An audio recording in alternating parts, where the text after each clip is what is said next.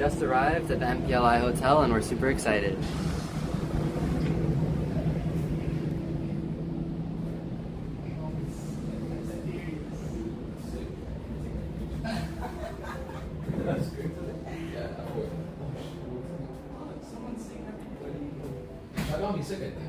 What's the